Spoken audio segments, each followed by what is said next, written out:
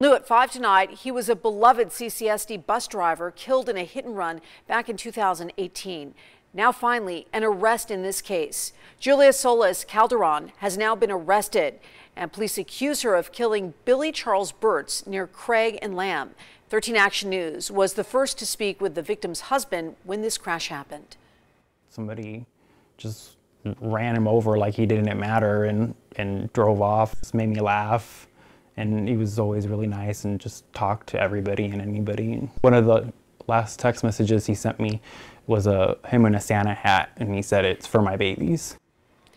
Jeffrey Martinez Burts told us his husband didn't think of students as just passengers, but as his babies. No word tonight on how the suspect was arrested.